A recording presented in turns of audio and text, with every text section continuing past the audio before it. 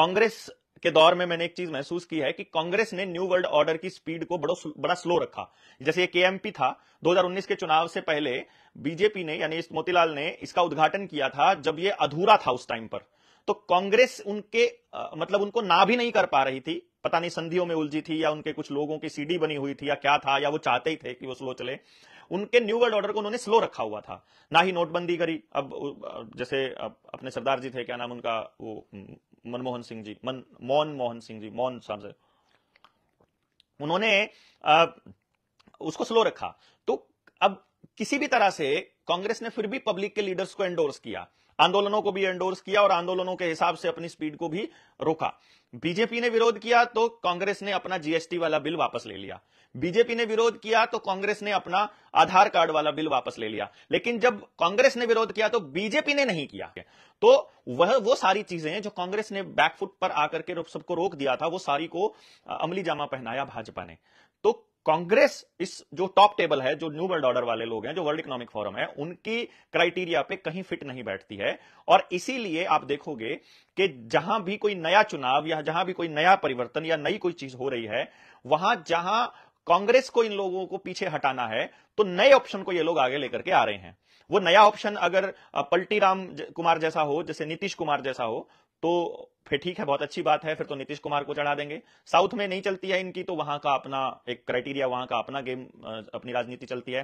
तो जो, जहाँ बीजेपी को हराने के लिए कोई साथी चाहिए, जो कोई अपोजिशन चाहिए तो स्ट्रांग अपोजिशन बना के खड़ा किया जा रहा है आम आदमी पार्टी को। बेसिकली क्योंकि आम आदमी पार्टी का आदमी अपने आप को बोलता है कि मैं पढ़ा लिखा सीएम हूँ। और जो पढ़ा लिखा सीएम है, उसको जो ऑनलाइन पढ़ाई है वर्चुअल स्कूल्स हैं वर्चुअल रियलिटी है ब्लॉकचेन है या आर्टिफिशियल इंटेलिजेंस है रोबोटिक्स है या डेटा कलेक्शन है वाईफाई है 5G है इसके लिए तैयार करना बड़ा आसान है पढ़े लिखे आदमी की बात को सीरियसली लेते हैं कि तो आईआईटीएन है तो आईआईटीएन की बात को लोग सीरियसली लें ऐसा करके उसको बनाया गया हीरो और अब उसको दिया जा रहा है फुल मेजोरिटी और अभी जैसे मेयर का चुनाव हुआ मेयर के चुनाव होने के बाद टीवी चैनल वाले कांग्रेस को कम दिखा रहे हैं और आम आदमी पार्टी को ज़्यादा दिखा रहे हैं और ये बता रहे हैं कि बीजेपी को अगर हरा सकती है तो ये हरा सकती है पार्टी। तो इसलिए ये एक परसेप्शन बनाया जा रहा है और 24 के चुनाव को लेकर के भी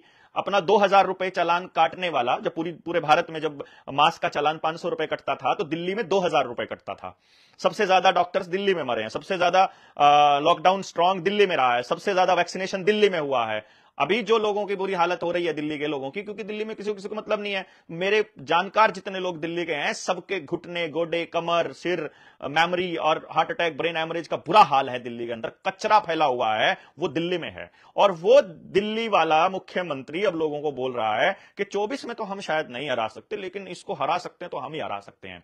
क्योंकि वो टॉप टेबल के साथ पहले से सेटिंग होकर आई हुई है और वो बता रहे हैं कि अब हम कांग्रेस को सत्ता नहीं देंगे, क्योंकि कांग्रेस तो पब्लिक लीडर्स को जगह देती है तो अब हम जो है इसको आम आदमी पार्टी को ही आगे लेकर के जाएँगे। तो ये कॉन्सेप्ट लोगों को समझाना बड़ा ज़रूरी है कि लोग ना कांग्रेस के आपके थे, जो जो केंद्रीय टीम है, ना ही बीजेपी की थी और ना ही इनकी थी, लेकिन कोई स्लो था, कोई फास्ट था। सत्यानाश तो कांग्रेस भी कर रही थी और उसका बड़ा कारण यह था कि गाँव के लोग जागरूक नहीं थे। उन्होंने आपकी सड़कें नहीं बनाई।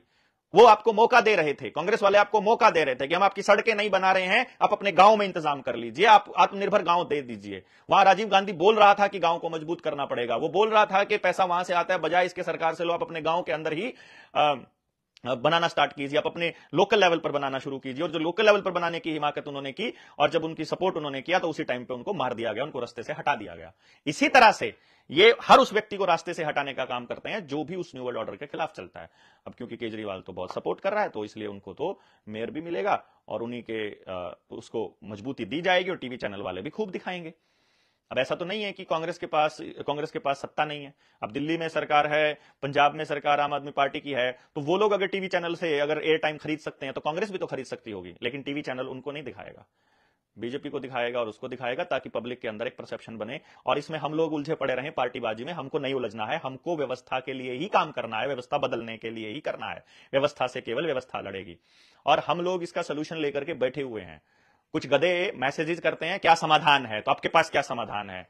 उनको बता दें, समाधान है, जब किसी दीवार को हिलाना है, उसको सरकाना है, उसके लिए जितना ज़ोर लगाना पड़ता है, वो ज़ोर जब तक हमारे पास नहीं है, तब तक हम उस दीवार को नहीं छेड़ेंगे। इसीलिए हमने ये कहा था कि जिसकी कॉल है, हम उसके साथ समर्थन में हैं, पर अपने लोगों को मरवाने का हमको शौक नहीं है।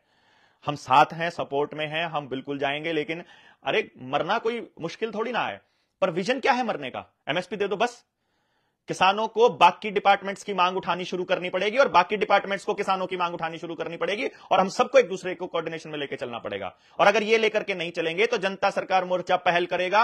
हर संगठन को इन्वाइट करेंगे हम, हर संगठन को। लेकिन पहले जनता सरकार मोर्चा के पास अपनी फौज तो हो उस पूरे के पूरे मूवमेंट को संभालने के लिए लीड करने के लिए, उनकी ट्रेनिंग तो हो पहले। और इसीलिए हम आपको बार बार कॉल कर दे के कहते हैं कि आइए और जो राजीव भाई के मत वाले हैं, भाई मैं उनसे भी रिक्वेस्ट कर रहा हूँ, अगर आप कहीं भी हैं दुनिया में, पूरे भारत में कहीं भी हैं, अब तो इंतज़ार मत कीजिए।